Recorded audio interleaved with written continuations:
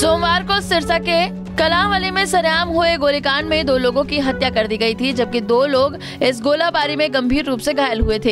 इस मामले की ज़िम्मेदारी तखमल गाँव के पूर्व सरपंच जग्गा तखमल ने ली थी, जिसके बाद से पुलिस लगातार जग्गा और उसके साथियों की धरपकड़ में जुटी है। इस बीच कलावली में ही जग्गा गैंगस्टर के कुछ साथियों के साथ पुलिस की मुठभेड़ हुई है, जिसमें पुलिस ने जग्गा के करीबी बलकार सिंह उर्फ़ जगतार को गिरफ़्तार कर लिया है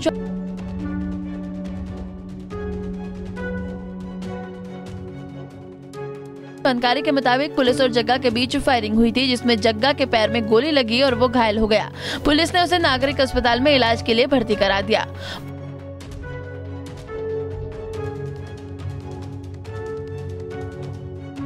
पुलिस और जगदार के बीच मुठभेड़ शाम को करीब छह बजे हुई। कलामली में तख्तमल और ताऊआना रोड पर हुई इस मुठभेड़ में बलकार सिंह के साथ कितने लोग थे? अभी तक इसकी जानकारी नहीं मिल पाई है। बलकार सिंह हत्या और हत्या के प्रयास के कुल आठ मामले दर्ज हैं और बलकार सिंह जग्गा सिंह का खास आदमी माना जाता है।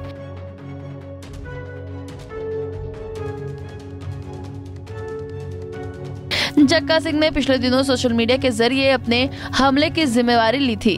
बहरहाल देखना होगा कि पुलिस गिरफ़्तार अपराधी बलकार सिंह से पूछताछ में क्या कुछ जानकारी हासिल कर पाती है। सिरसा से सतनाम सिंह, पंजाब केसरी टीवी। हमसे जुड़े रहने के लिए हमारे YouTube चैनल को सब्सक्राइब करें और नई वीडियो की नोटिफिकेशन के लिए बेल आइकॉन को दबाएँ। अगर आप ये वीडियो Facebook पर देख रहे हैं तो लाइक ज़रूर करें और ज़्यादा से ज़्यादा शेयर करें धन्यवाद